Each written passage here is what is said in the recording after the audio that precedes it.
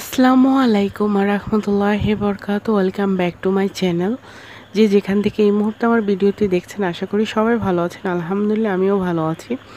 আজকে নিয়ে আসলাম আপনাদের মাঝে একটি চকলেট কেকের রেসিপি ইনশাল্লাহ আপনাদের কাছে ভালো লাগবে। আর ভালো লাগলে প্লিজ একটি সাবস্ক্রাইব করে দেবেন প্লিজ তো আজকে হচ্ছে আমি আমার বাসার সবার জন্য একটা চকলেট কেক বানাবো। আর সেটাই আপনাদের সাথে আমি শেয়ার করতে যাচ্ছি।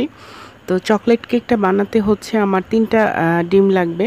তো আমি অলরেডি ব্ল্যান্ডারের তিনটা ডিম ব্ল্যান্ড করছি। যেহেতু আমার বাসায় কেক মেকার নাই, তো এর জন্য আমি ব্ল্যান্ডারের সাহায্যই নিয়েছি। আর এখানে হচ্ছে চা চামচের এক চামচ বেকিং পাউডার দিয়ে দিচ্ছি। তো আমি আসলে অলরেডি কাতার থেকে চকলেট কেকের পাউডারটা যেটা, ওটা প্যাকিং করা পাওয়া যায়। ওইটা আমি নিয়ে আসছি। এখানে শুধু আমার লিকুইড জিনিসটা অ্যাড করতে হবে আর সব কিছু ওই প্যাকেটের মধ্যেই আছে। যেটা হচ্ছে ডিম আর হচ্ছে বেকিং পাউডার দুধ আর তেল।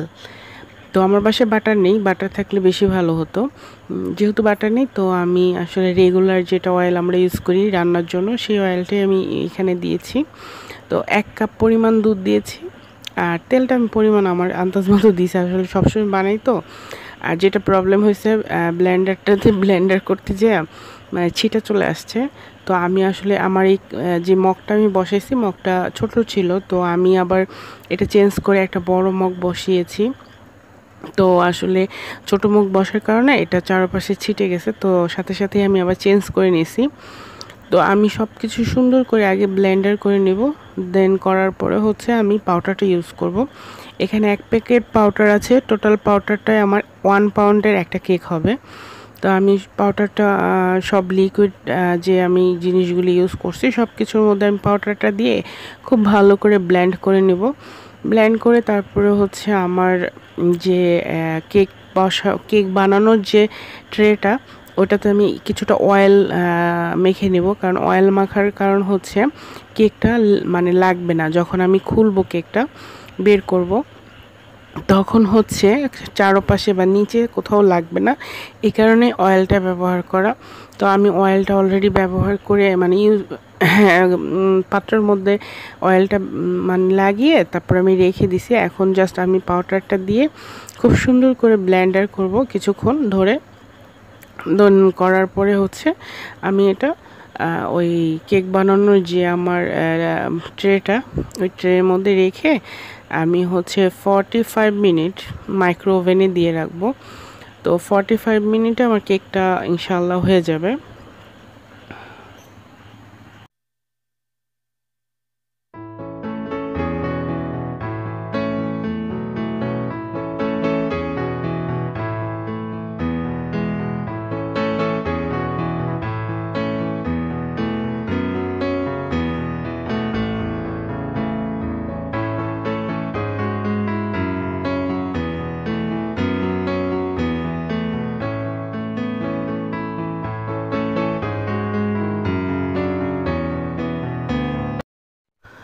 তো আমার কেকটা হচ্ছে অলরেডি ব্ল্যান্ড করা শেষ। এখন আমি মাইক্রোওয়েভের ভেতরে একটি স্ট্যান্ড বসিয়ে তারপরে হচ্ছে আমার কেকের যে ট্রেটা ওটা আমি বসিয়ে দিয়েছি।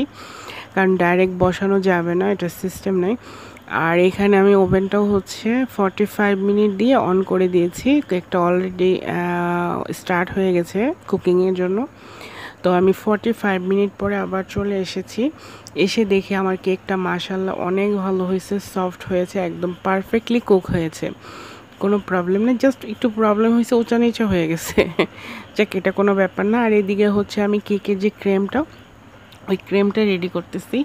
এটা হচ্ছে ফ্রেশ ক্রিম এটা বাহির থেকে আমি নিয়ে আসছি বাংলাদেশের ক্রিমটা না। বাংলাদেশে সম্ভবত ডানো একটা ফ্রেশ ক্রিম পাওয়া যায়, অনেক আগে আমি ইউজ করছিলাম। আর এখানে হচ্ছে আমি দুই প্যাকেট যেটা হচ্ছে ফোম ক্রিম এটা হচ্ছে ড্রাই থাকে। জাস্ট এটার সাথে যখন আমি অ্যাড করে ব্ল্যান্ড করব, এটা ফোম হয়ে যাবে।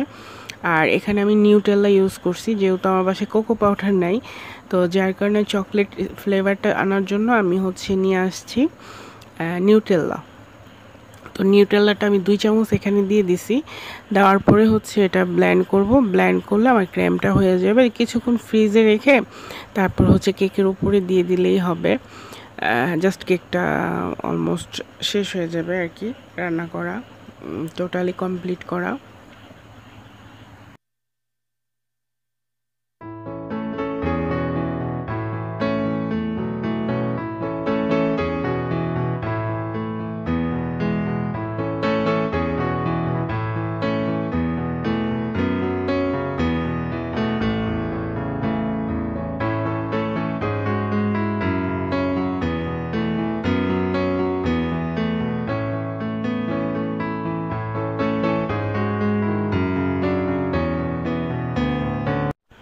তো আলহামদুলিল্লাহ আমার সব কিছু দেওয়া শেষ। এখন জাস্ট আমি এই এটা একটু ব্লেন্ড করব।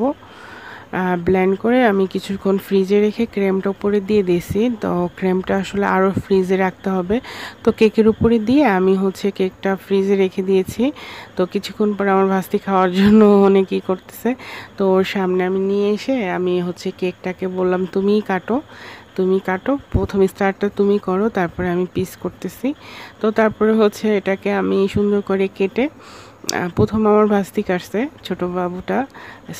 ও হচ্ছে সুরা সুরা কেটে তারপরে হচ্ছে উদ্বোধন করছে। মাশাল্লাহ মানে ও সুন্দর করেই কাটছে, আমার খুব ভালো লাগছে। আর এই পিসটা হচ্ছে ও নিছে ও খাওয়ার জন্য। তো দর্শক দেখেন আমার কেকটা কেমন হয়েছে, আমি বলব না কিছুই। আপনাদের কাছে কেমন লেগেছে? অবশ্যই অবশ্যই আমার দর্শক ভাই ও বোনেরা কমেন্টস করে আমাকে জানাবেন কেকটা অ্যাকচুয়ালি কেমন হয়েছে।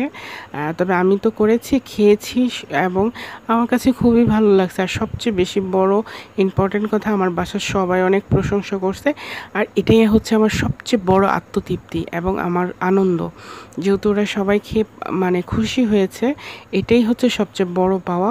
তো আমি প্রতিদিনই কিছু না কিছু বানানোর জন্য চেষ্টা করতেছি বাসার সবার জন্য। কারণ আর বেশি দিন নাই, দুই মাস আছি, দুই মাসে আমি ট্রাই করব ওদের জন্য কিছু না কিছু রেডি করার জন্য। তো আমার ভাস্তি এখানে খাচ্ছে।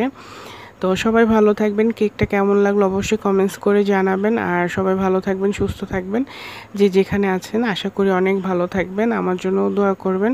তো আজকের মতো এখানেই শেষ করতেছি। আল্লাহ হাফেজ। আসসালামু আলাইকুম রহমতুল্লাহ বরকাত